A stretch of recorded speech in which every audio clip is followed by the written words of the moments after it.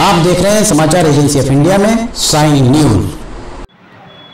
नमस्कार दोस्तों, समाचार एजेंसी ऑफ़ इंडिया की साई न्यूज़ में लिमटी की लालटेन के छः एपिसोड में एक बार फिर आपका स्वागत है।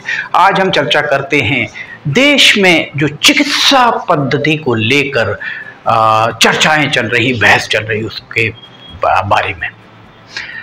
किन नियमों के तहत चिकित्सक अपना विज्ञापन करते हैं और पंपलेट बांटते हैं? क्या ये अवैध है?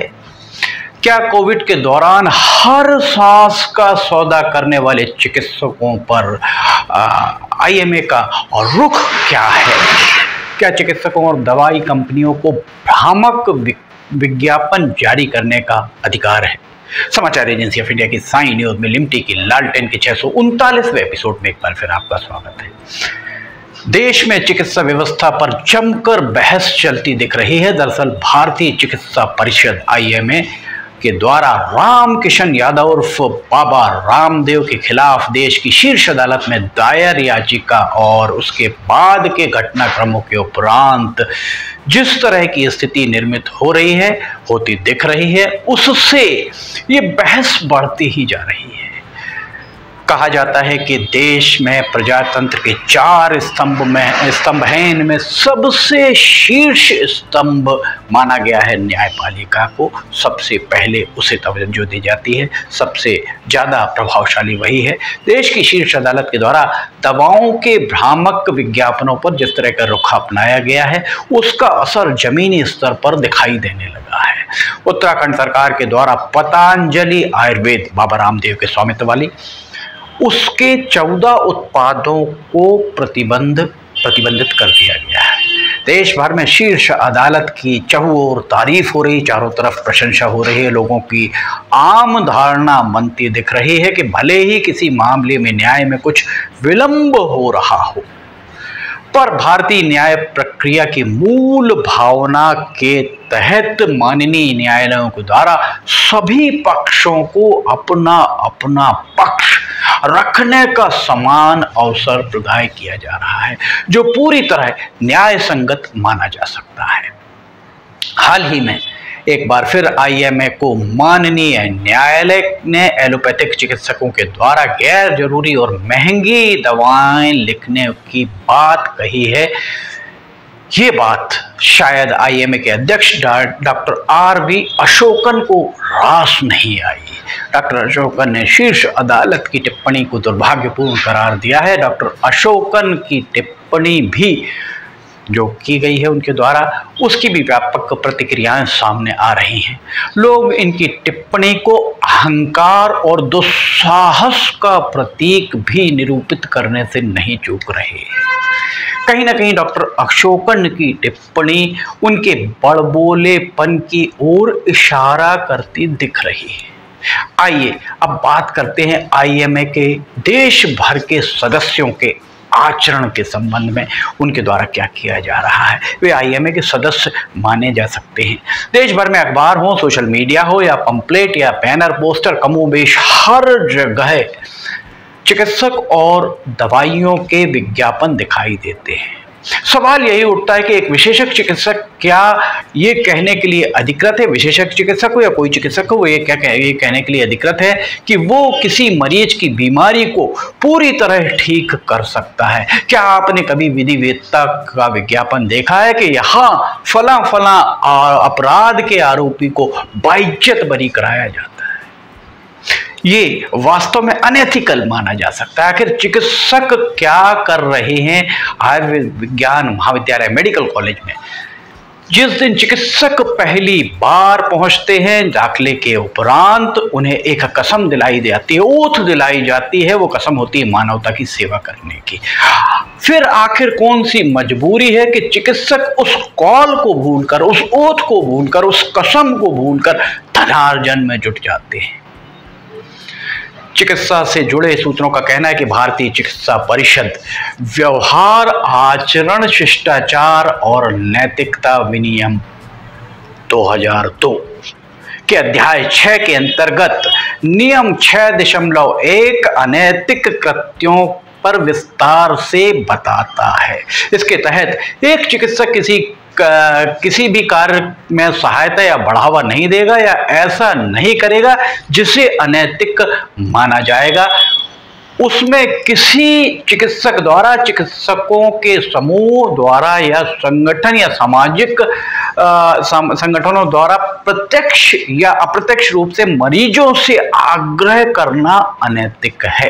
एक चिकित्सक उसे या उसके नाम को किसी भी रूप में, किसी भी तरीके से दूसरों के साथ मिलकर उपयोग नहीं करेगा। विज्ञापन या प्रचार के रूप में जो इस तरह का हो जिससे जो हो इस तरह का हो, उसकी ओर ध्यान आकर्षित करे या उसकी पेशेवर स्थिति, कौशल योग्यता, उपलब्धियों विशिष्टताओं, नियुक्तियों, संघों, संबद्धों, संबद्धताओं या समान और या ऐसे चरित्र के लिए उसके परिणाम स्वरूप आम तौर पर आत्म प्रशंसा मानी जाती है।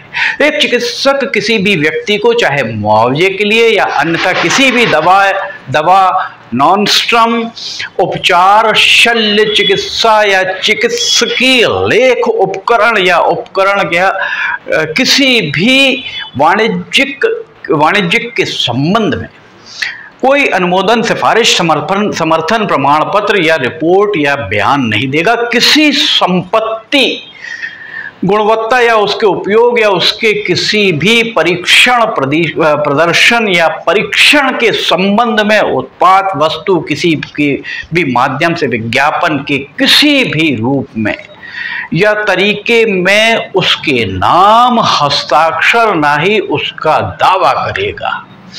मामले, ऑपरेशन, इलाज या उपाय या किसी भी माध्यम से उसकी रिपोर्ट के प्रकाशन की अनुमति उसे नहीं होगी। इसके अलावा, किसी भी डॉक्टर द्वारा किसी विशिष्ट कारण से संचालित संस्थान जैसे कि प्रसूति गृह नर्सिंग होम, निजी अस्पताल, पुनर्वास केंद्र या अन्य प्रकार के शैक्षणिक संस्थान का विज्ञापन किया जा सकता है, जिसमें संस्था का नाम भर्ती मरीजों का रूप शैक्षणिक प्रकार और प्रदान की जाने वाली अन्य सुविधाएँ निर्दिष्ट की जा सकती हैं। एक क्लिनिक में केवल नाम, प्रमाण पत्र, मेडिकल कॉलेज, आयुर्विज्ञान महाविद्यालय जहाँ से उसने पास आउट किया हुआ है उसका नाम विश्वविद्यालय का नाम, विशेषज्ञता का नाम, राज्य चिकित्सा परिषद की पंजीयन संख्या, पंजीकरण संख्या उसमें होनी चाहिए। परामर्श कक्ष या ऐसे किसी भी नैदानिक प्रतिष्ठान के लेटर हेड या साइन बोर्ड या स्व फोटोग्राफ या प्रचार की ऐसी किसी भी सामग्री को मुद्रित कराना, चिकित्सक की ओर से स्विज्ञापन और अनैतिक आचरण के रूप में माना जाएगा। हालाँकि मानव प्रणाली रेखा चित्र मानव प्रणाली के रेखा चित्र हो या दूसरे रेखा चित्र हो, चित्रों की छपाई अनैतिक नहीं माना जाएगा। पर आप देखते हैं लेटर हेड डॉक्टर का लेटर हेड देखिए, नीचे आपको विज्ञापन किसी ना किसी मेडिकल स्टोर का मिलेगा। क्या है? इसी के अध्याय सात के अंतर्गत नियम सात दशमलव एक एक और सात दशमलव एक दो कदाचार को इंगित करते हैं, जिसमें एक चिकित्सक को आम प्रेस लेखों में योगदान नहीं देना चाहिए और बीमारियों और उपचार के बारे में साक्षात्कार नहीं देना चाहिए, जिसका स्वयं विज्ञापन करने या प्रथाओं की याचना करने का प्रभाव हो सकता है।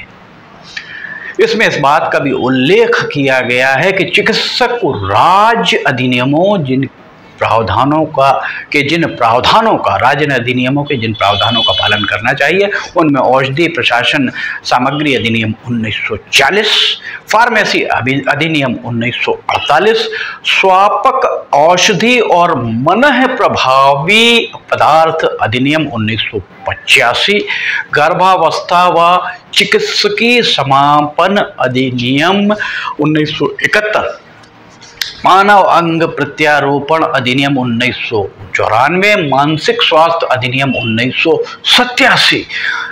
पर्यावरण संरक्षण अधिनियम उन्नीस सौ छियासी, प्रसव पूर्व लिंग निर्धारण परीक्षण अधिनियम उन्नीस सौ चौरानवे, औषधि और जादुई उपचार आपत्तिजनक।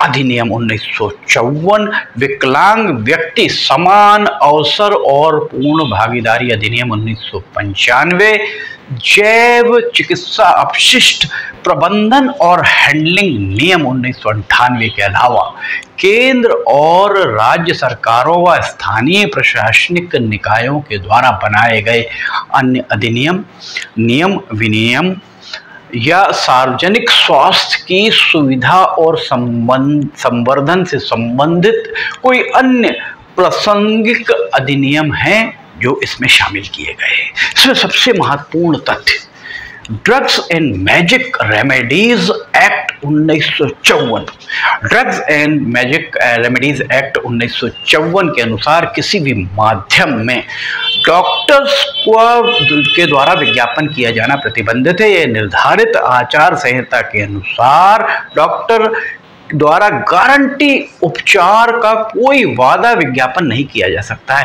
क्लिनिकल एस्टेब्लिशमेंट एक्ट के तहत चिकित्सक जिस भी परिसर, जिस भी अस्पताल आदि में निजी चिकित्सा कर रहा हो, उससे, उस संबंध में संबंधित ज़िले जहाँ पर वो है, कि मुख्य चिकित्सा एवं स्वास्थ्य अधिकारी, जो जिला स्वास्थ्य अधिकारी है, को बाकायदा इत्तला करते हुए उस राज्य में अपना पंजीयन कराना होगा। इसके लिए उसे उस परिसर अथवा अस्पताल में मरीजों को निशुल्क सशुल्क परीक्षण हेतु लिखित अनुमति लेना होगा। इसके लिए उसे ज़िले में जिला स्वास्थ्य अधिकारी के द्वारा गठित जाँच दल के समक्ष उस चिकित्सक अथवा अस्पताल के दस्तावेज़, योग्यता प्रमाण पत्र उपाधि प्रदूषण नियंत्रण मंडल का अनापत्ति प्रमाण पत्र आदि को प्रस्तुत करना होगा। इस संबंध में ध्यान देने की किसी को ज़रूरत नहीं है और किसी को आवश्यकता भी प्रतीत नहीं होती है बहरहाल। देश की शीर्ष अदालत में आ, मामला विचाराधीन है और इस मामले को शीर्ष अदालत में ले जाने वाले आईएमए को अब माननीय न्यायालय के रुख से पेट में मरोड़ उठती दिख रही है। आईएमए ये भूल जाता है कि कोविड जैसी महामारी के दौरान किस तरह का माहौल था। अस्पतालों में चिकित्सकों के द्वारा मरीजों को हाथ नहीं लगाने की हाथ लगाने से परहेज करने की खबरें सोशल मीडिया पर तैर रही थी। पैरामेडिकल स्टाफ, सफ़ाई कर्मियों ने व्यवस्थाओं को संभाला। कुछ चिकित्सकों के द्वारा जान को जोखिम में ढालकर इस, इन व्यवस्थाओं को संभाला था। निजी तौर पर अस्पतालों के द्वारा एक एक सांस का सौदा किए जाने वाले, एक एक सांस का सौदा किए जाने की खबरें भी सोशल मीडिया पर उस वक्त जब, जमकर वायरल हो रही थी, उस दौर में छोला छाप चिकित्सकों के द्वारा बेहतर तरीके से मोर्चा संभालने की बातें भी सोशल मीडिया की सुर्खियाँ बनी थी। जिलों के अस्पतालों में सरकारी चिकित्सकों को रस्म अदायगी करने की चर्चाएँ भी थी। एलोपैथी को व्यवहारिक रूप से सफलतम माना गया है। इस बात से इनकार नहीं किया जा सकता, पर इसे सौ टका सही नहीं माना जा सकता। सोशल मीडिया पे ये बात भी चल रही है कि एलोपैथी को खुद एलोपैथी को खुद को बेहतर मानते हुए अन्य चिकित्सा पद्धति को, पद्धतियों को या पद्धति को निशाने पर नहीं लिया जाना चाहिए। वैसे मीडिया, सोशल मीडिया पर चल रही दवाओं संबंधी विज्ञापनों, चिकित्सकों के विज्ञापनों की आदि जितने भी विज्ञापन चल रहे हैं, उनकी जाँच व्यापक स्तर पर होनी चाहिए। इस तरह के विज्ञापन कहीं ना कहीं जन सामान्य को धोखा देते ही प्रतीत होते हैं। इस श्रेणी में कोविड वैक्सीन कोविशील्ड को भी रखा जा सकता है, जिसे लेकर हाल ही में बवाल कटता दिख रहा है। इस तरह के भ्रामक विज्ञापनों के संबंध में देश की अदालतों को अगर संज्ञान लेना पड़ रहा है, पुनः हम कहेंगे कि अगर अदालतों को संज्ञान लेना पड़ रहा है तो ये भारतीय चिकित्सा परिषद की कार्यप्रणाली पर निशान लगाने के लिए पर्याप्त मानी जा सकती समाचार एजेंसी ऑफ़ इंडिया की साई न्यूज़ में लिमटी की लालटेन के छः सौ उनतालीसवें एपिसोड में फ़िलहाल इतना ही। अगर आपको समाचार एजेंसी ऑफ़ इंडिया की साई न्यूज़ में लिमटी की लालटेन पसंद आ रही हो तो आप इसे लाइक, सब्सक्राइब और शेयर ज़रूर कीजिएगा। अगर आप इसे देखना चाहते हैं तो समाचार एजेंसी ऑफ़ इंडिया की वेबसाइट या साई न्यूज़ के न्यूज़ चैनल पर जाकर आप इसे रोज़ाना देख सकते हैं। समाचार एजेंसी ऑफ़ इंडिया के सहयोगी अखिलेश दुबे के साथ लिमटी की लालटेन का छः सौ चालीसवा एपिसोड लेकर बहुत जल्द हम हाजिर होंगे। फ़िलहाल आपसे इजाज़त लेना चाहेंगे। जय हिंद।